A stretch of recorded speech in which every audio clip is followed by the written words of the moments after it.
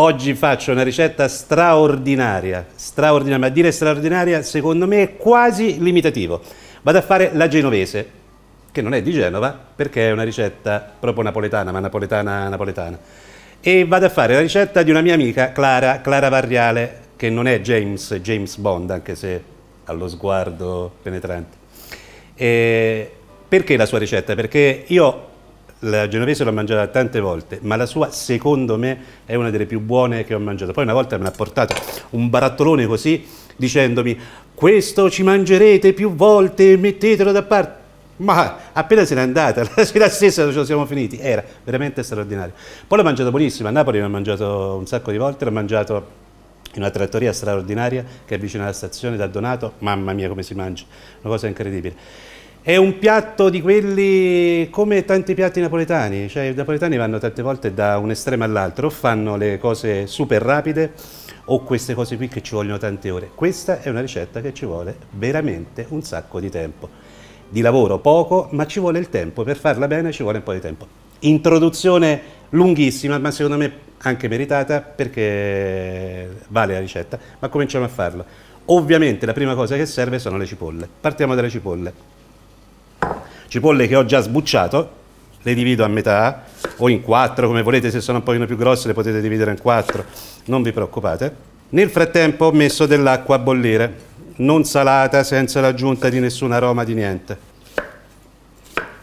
Andiamo a lessarle. Devono diventare tenere, diciamo indicativamente secondo me su 10-15 minuti sono già a poi considerate che comunque avranno una cottura talmente lunga che diventeranno morbide anche dopo. Nel frattempo vado a preparare anche la base, la carota, diciamo più o meno, ecco, questa parte di carota qui va bene e questa, questa parte che è rimasta ovviamente me la mangerò io, nel frattempo mangio. Oh.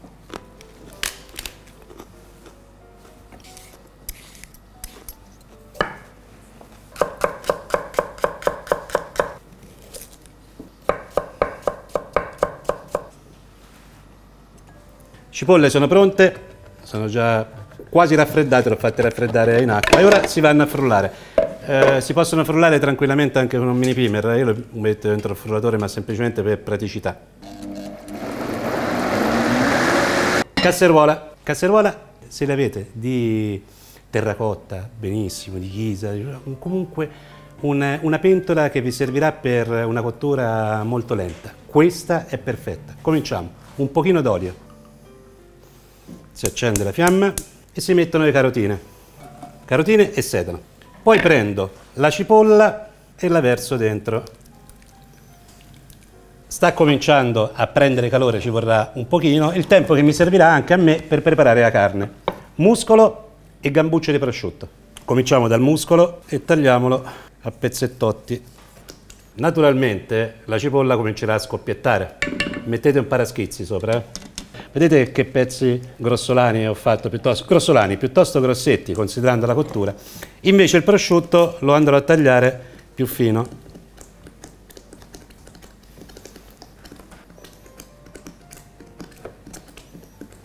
Vado ad aggiungere il prosciutto e la carne.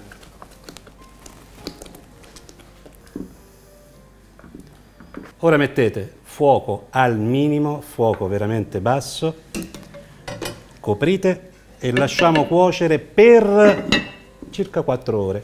Ogni tanto andate lì e giratelo. Mi raccomando, fuoco al minimo. Ecco qua.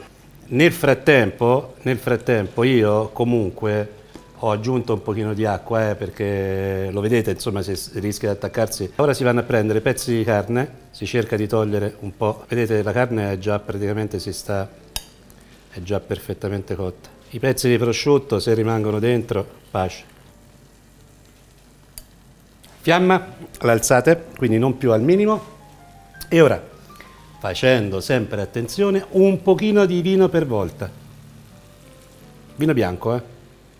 Ovviamente alzando la temperatura e il gas si attaccherà più velocemente, quindi questa operazione fatela girando, controllando sempre, e poi via via, diciamo nell'arco di un'oretta all'incirca mettete tutto il vino bianco, lo fate evaporare, lo aggiungete, lo fate evaporare.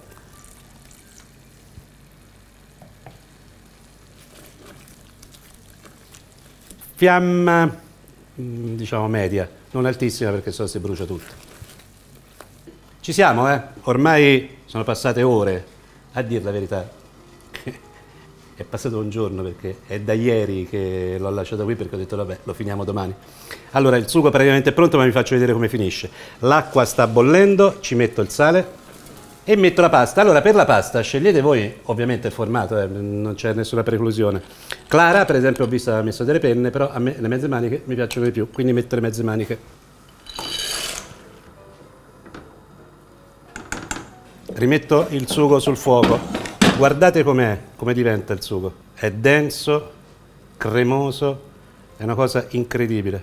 Allora, arrivati a questo punto, dovete anche correggere di sale. Io vi dico la verità, fatelo veramente a questo punto, perché dipende anche da quanto è forte e sapido il prosciutto che avete messo dentro. Qui non ce n'è veramente bisogno. Ho usato un prosciutto toscano, quindi il prosciutto toscano è più sapido dei, degli altri prosciutti. Magari avete utilizzato un prosciutto di Parma. Vabbè, comunque, basta assaggiare. Rimetto la carne dentro, faccio riprendere calore, aggiungo il burro.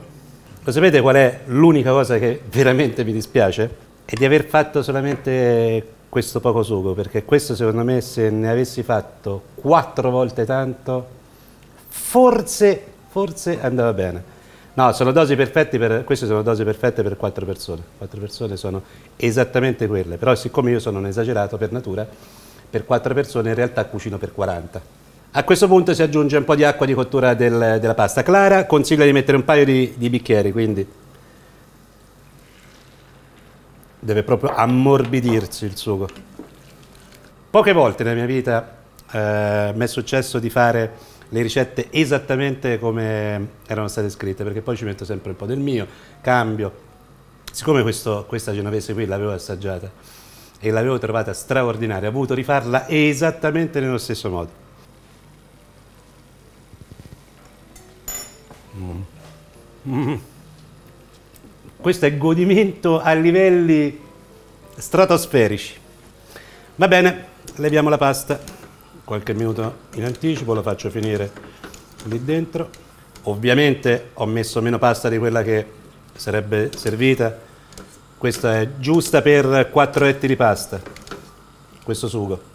Non di più, eh. Clara dice 500 grammi, ma secondo me in questo ha peccato un po' di tirchieria. Io sono molto più esagerato. Se il sugo si è asciugato un pochino, e io l'ho fatto asciugare ma la colpa è mia, aggiungete un altro pochino d'acqua, ma poca, eh, proprio poca, poca, poca. Giusto per ammorbidire un pochino. Si impiatta, si impiatta. La cosa più bella... No, la cosa più bella è assaggiare. Non è impiattare, mamma mia. No, però la pasta la potevo mettere anche un pochino di più, eh. Non 500 grammi come diceva Clara, però la potevo mettere anche un pochino di più. E poi Clara ci mette sopra il parmigiano e secondo me è una scelta intelligente. Un po' di parmigiano. Saccate. Ma io il parmigiano non lo voglio mettere per eh, motivi che non mi va, perché mi va di assaggiare direttamente, no, cioè, lo vedete? Vedete che cosa è? Dentro questa mezza manica c'è il mondo dentro, il mondo dentro, in questa un po' meno. Ho non l'acquolina in bocca, di più.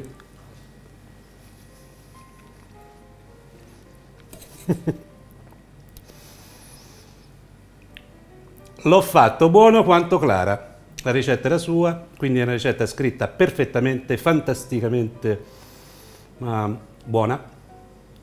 Clara, alla prossima!